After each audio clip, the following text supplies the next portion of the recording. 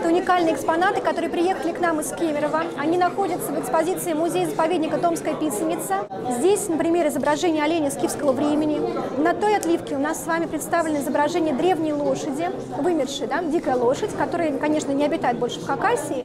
Очень многие скальные поверхности рядом с большими реками покрыты Лена, Енисей, Томи, покрыты такими изображениями. От Преамурья до Беломорья. Выставка наскального искусства в Доме Российского исторического общества. Сергею Нарышкину показали самые известные археологические памятники России со следами художественной деятельности человека. Это амуро-уссурийские петроглифы периода неолита. И вот наш памятник Сикачи-Алян на Нижнем Амуре, он как раз входит в предварительный список ЮНЕСКо. От России в предварительном списке четыре памятника наскального искусства находятся. В основном списке до сих пор памятников наскального искусства от России нет. В то время как э, мировых памятников 44 находятся в этом основном списке. То есть это и французские пещеры с живописью эпохи палеолита, это памятники Австралии, памятники Африки, памятники Америки, а от России, где сотни, в общем-то, таких памятников, многие из которых представляют себе шедевр человеческого гения, до сих пор нет. А вот еще один шедевр творческого гения человека – Капова пещера в заповеднике Шульганташ. Рисунки выполнены в эпоху камня, также претендуют на включение в список ЮНЕСКо.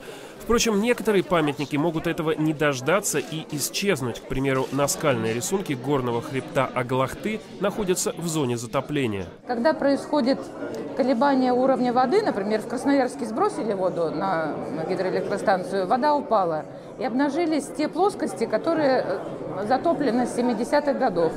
И вот мы э, таким вот образом плаваем вдоль этих скал, которые покрыты налетом. А их, эти рисунки не сразу видны, мы их э, стараемся поймать при косом свете. Они сохранились после затопления, но они продолжают э, рушиться, эти скалы. Их нужно обязательно любыми способами фиксировать, потому что мы это теряем. Как не потерять саму профессию археолога, обсуждали на итоговом заседании в Доме Рио Оргкомитета по празднованию столетия отечественной академической археологии. В России всего около 4 тысяч археологов. Э, порядка 600 из них трудится в академических институтах. Это совсем немного, особенно если учесть стремительное развитие отечественной археологии.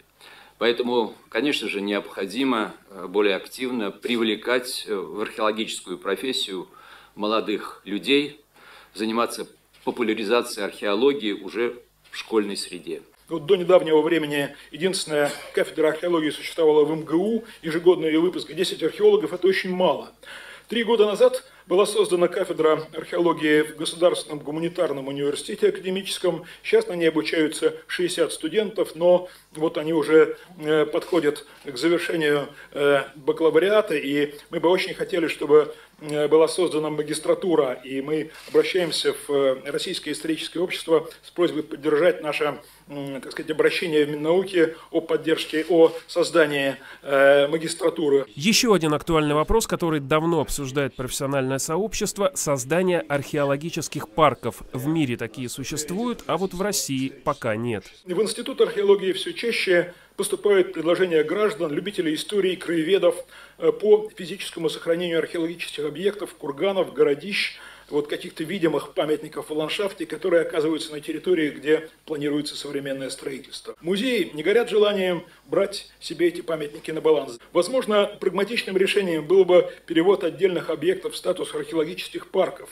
создание которых не требовало больших средств, но оставляло бы эти объекты как заповедные территории. Была затронута и проблема нехватки региональных фондохранилищ, а хранить там есть что. За последние годы российские археологи сделали уникальные находки на территории Крыма, Сибири, других регионов страны. Завершилась встреча торжественной церемонии гашения памятных марок с изображением археологических находок.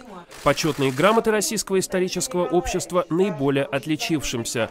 Кроме того, Сергей Нарышкин поддержал инициативу археологов, которые предложили придать своему профессиональному празднику, Дню археолога, который отмечается 15 августа, официальный статус. Служба информации Российского исторического общества.